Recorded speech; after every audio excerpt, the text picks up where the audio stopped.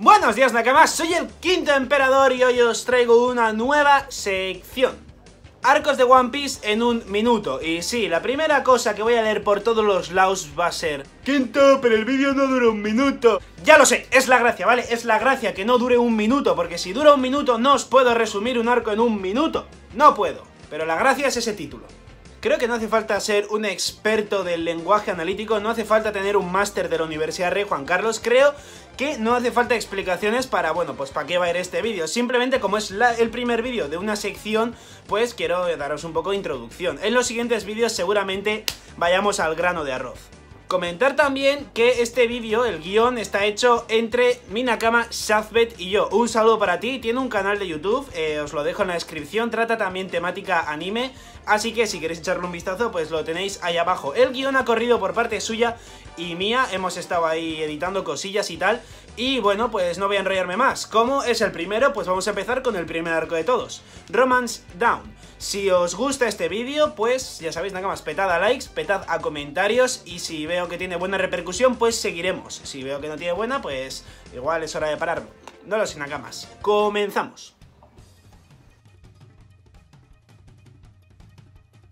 Hace mucho, mucho tiempo... Bueno, tampoco tanto, no nos calentemos. Hubo un pirata que logró riqueza, fama y poder. El hombre que lo consiguió todo en este mundo, Gold D. Roger. Su último aliento, antes de ser ejecutado, lanzó a toda una generación al mar, dando, con unas simples palabras y una sonrisa entre oreja y oreja, el inicio a la gran era de la piratería. Pero bueno, viajemos hasta hace 12 años, donde un niño quiere unirse a la tripulación de un pirata pelirrojo que aparentemente es un don nadie. y tan aparentemente...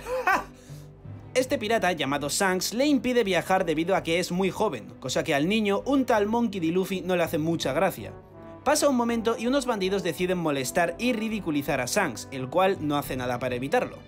Todo esto cabe recalcar pasa mientras Luffy come una fruta con una forma un tanto extraña. Luffy se enfada con el pelirrojo por no haberlos enfrentado y cuando Shanks la agarra del brazo para impedir que se vaya, la magia surge y el brazo de Luffy se estira debido a que se ha convertido en goma por esa fruta tan extraña que se ha comido, una Akuma no Mi. Luffy trata de vengar a Shanks yendo a donde el bandido, el cual acaba secuestrándole. Al rato vemos a Shanks y su banda quedando simplemente como unos dioses al derrotar fácilmente a los bandidos, a todos menos al que tenía a Luffy, el cual lo lleva al mar donde es arrojado a este.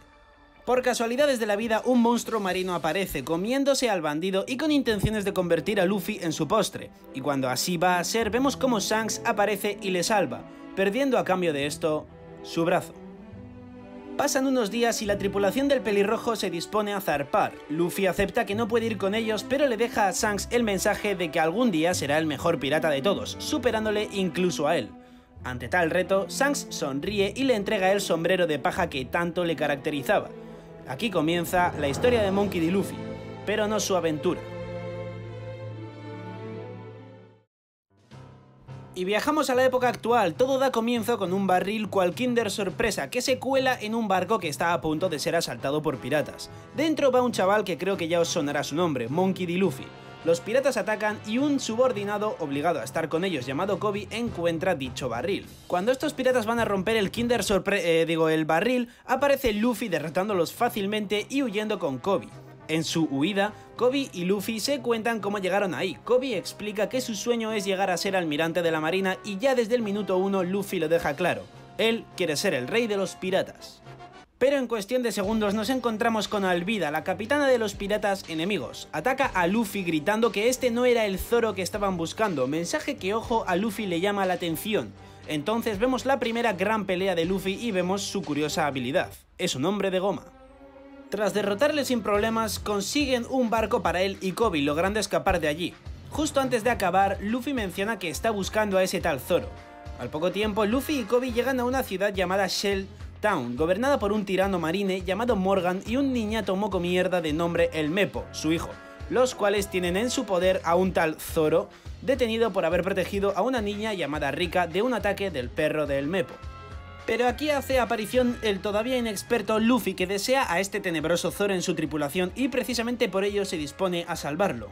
Aunque ahora el mocomierda de El Mepo también quiere a Luffy muerto por tratar de ayudarle a Zoro. Y es aquí cuando hace aparición Morgan, el malvado marine dispuesto a matar a Rika, a Luffy y a Zoro.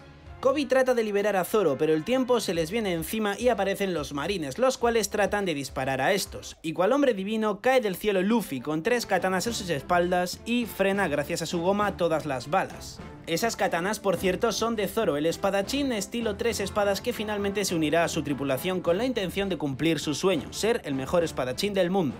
La batalla empieza, pero Morgan no es nadie contra la nueva tripulación de Luffy, y Zoro y él los vencen sin problemas. Para sorpresa de todos, los marines que estaban con ellos se alegran ya que estaban sometidos a una dictadura. A modo de perdón, los marines les permiten escapar, pero Luffy, dispuesto a cumplir el sueño de Kobe, le da una paliza para que los marines vean que no tienen relación con este y así le permita finalmente alistarse en la marina.